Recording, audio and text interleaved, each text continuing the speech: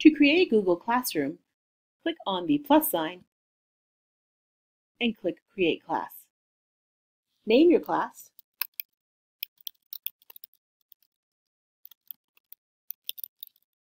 I also suggest teachers use the school year. Of course, you are welcome to put anything there in the subject as well and click Create. You have now created a Google Classroom. If you wish to change the theme of your classroom, select Theme, and you can choose an image. You can also switch to patterns if you just like a simple design.